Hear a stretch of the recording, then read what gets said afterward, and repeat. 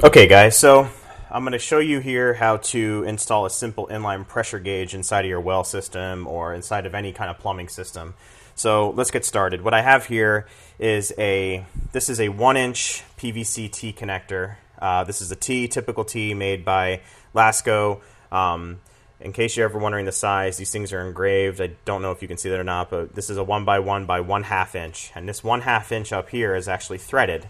And this accepts um, anything that's um, you know obviously male ended and threaded to go into the female end of the pipe.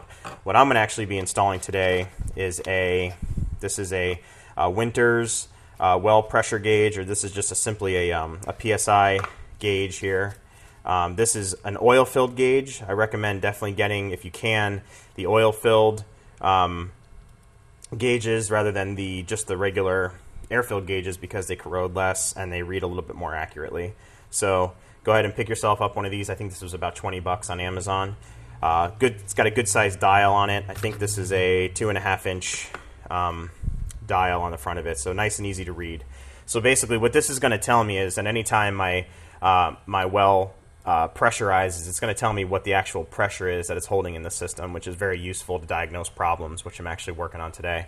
So First thing you want to do is uh, basically the end the end goal here is to get this gauge in here, but obviously that's not going to work. So it's going to you're going to be pretty hard pressed to find a, a one inch T with a perfect one quarter inch NPT thread on the front of it. So you got to use something to adapt it. So this is a typical um, brass adapter you can pick up at any home improvement store, and they were actually out of them at in the uh, plumbing aisle, which I thought I was out of luck, but I went over to the air compressor aisle and uh, they actually had one for an air compressor. It's really the same thing. So um, let's get rid of that packaging here. And here is the uh, actual fitting with what you're working with. So theoretically, we thread this into here. That goes on there nice, and then that goes on there like that. So before we can just put all this together and go throw it on the well, what we have to do is we have to seal it. Now, there's a couple of different ways you can seal these threads inside of these pipes.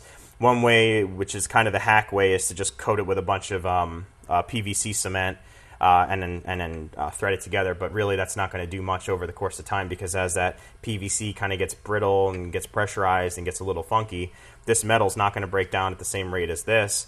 Uh, and you're not. And basically, that stuff is really just designed to create a plumbing or a pipe weld, and that's not made for metal to plastic, so or PVC. So what you're going to do is over time create leaks. So that's not a good idea. The next thing you can do is use what's called a plumber's, plumber's dope, which is like this um, really, it's like a Teflon paste that you could put on the threads and then thread it together. I don't, I don't happen to have any of that today, so what I'm going to use is what you typically find in the aisles, which is the um, Teflon tape. So, biggest thing about Teflon tape is when you're putting it on and you think about the orientation that this has to turn to go on, you want the Teflon tape wrapped in the opposite direction so that it doesn't unravel the tape as you thread it in, if that makes any sense. So I'm going to demonstrate here how to do it right. You want to roll this on um, basically counterclockwise. So I want to loop the tape this way so when I tighten it in, it's on the back spin, if that makes any sense. So we're going to first start by getting a good kind of set here. And then what I'm going to do is I'm going to wrap it about three or four times. And once you kind of get it, the trick also is to not drop the tape like I did, but the trick is to kind of get this to roll on nice and flat so it doesn't kind of buckle up on you. So let me fix this.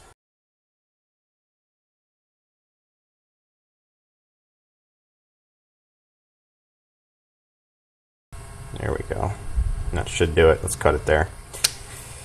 When you cut it, you want to just do a nice pull and then you want to twist it back. So let's get that out of the way.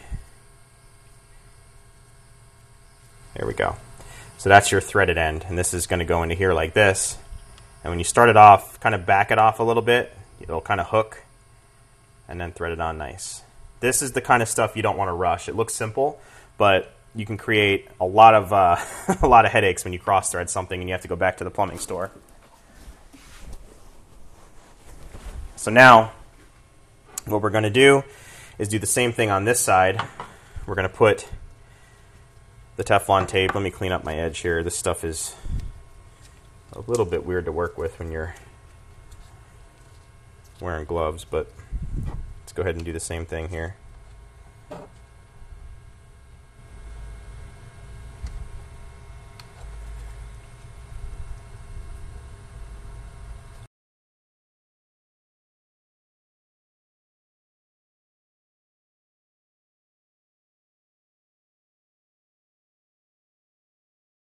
There you go. So that's that side. Clean it up nice. And this is going to thread in here like this. So what you want to do next is actually get this into some sort of a, a vise. There we go. Okay, that's hand tight. I'm going to go ahead and throw this on my vise and tighten that down. Boom. So what we have here is the actual gauge installed into the T. Um, this has been tightened down nice and snug, but not too not too tight. Um, and this has also been nice and snug, not too tight. And I got this on a on a um, parallel plane here, so when this is installed in the system, I can angle it toward me, which is really cool. So now let's uh, go over to the well and let me show you how to put this on. A PVC cement. Um, from my experience, this has been the best that I've come across. It's a primer and cement in one. This is the uh, the ice blue rain or shine, typical um, medium blue PVC cement. You want to make sure you shake it up nice. And then I'm also going with the typical purple primer. This stuff smells like hell when you breathe it in. All you plumbers watching are probably laughing at me, but yeah, this is uh, what we're going to run with. Okay, here's my well system here. I have it. Uh, I have my control cover taken off here because I'm actually fixing a well problem. But here we are. Here's the well casing that comes up out of the ground, goes into the well control box, passes over into the pressure switch, which is right here. Comes in, comes down, and then it runs back into my um, big pressure holding tank here. So what I want to do is I've already cut out the section of pipe. This is where we're going to install our T. So let's get the camera situated. Okay, so the first thing you're going to want to do, now I have some room here to move my pipe up and down. First thing you're going to want to do here, and I'm going to try to get this as much as I can on camera. Here's the um, pipe, dope, and cement, uh, the primer and cement. Get your uh, caps, make sure they're mixed up, and if you can, get your caps off and get them in a nice kind of a flat working area, best you can.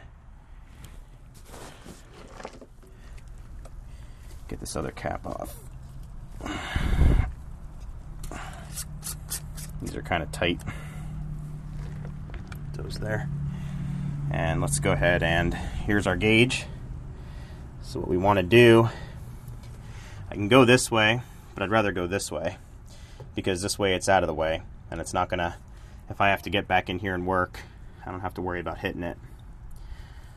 So let's go ahead and get the pipes primed. So the first thing you want to do, go in here, get a little bit of your primer. You want to kind of go right around like that. And the primer, what it does is it etches the pipe um, to be able to get a good, nice, clean seal for that pipe weld. Okay. And then in here, here's our actual gauge T that we worked on. Let's go ahead and get that. Just like that. And the neater you are, the better. Like that. Let that set up for a second. And then what we want to do is we're basically doing T's and, and, and long and, and, and existing pipes is a little bit of a pain in the ass because you have to be able to work it a little bit. So this process may not be very pretty, but Next thing we want to do is apply the blue PVC, blue PVC cement to both the inside of the pipes T and the outside of the existing all the way around. And this stuff sets up pretty quick, so now the clock's ticking. And that's a little bit of a messy. All you plumbers out there, Go easy on me. I'm web guy. All right. First thing I'm going to do is slip this on. And I'm going to give it a turn back this way. Then I'm going to come underneath. I'm going to slip it on that way. And then I'm going to come back. I'm going to hold it for 10 seconds.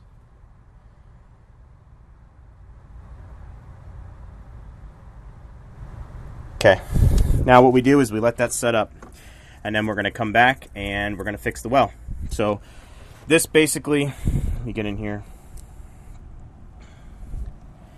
This basically is going to tell me the pressure that my well pressure switch is feeding my actual drum or bladder tank or air tank or whatever, you want to call it. But that's it there. Now, this isn't the most pretty plumbing job in the world that I've done, but it gets the job done. Um, when you're doing plumbing, your biggest thing is no leaks. So there's the gauge. And uh, let's go ahead and get the well fixed next. Okay, here we are at the panel. These are the breakers that we shut off. Turn them back on and your well will turn on. Make sure there's no one in the well.